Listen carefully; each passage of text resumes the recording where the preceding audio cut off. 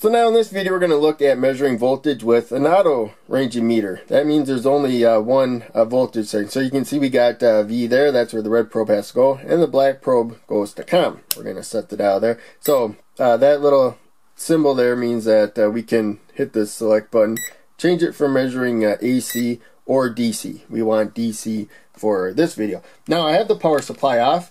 Um, if the load's off, you would think that you'd have zero volts. Typically, that is what you would have, but this particular power supply actually provides a negative voltage when it is off.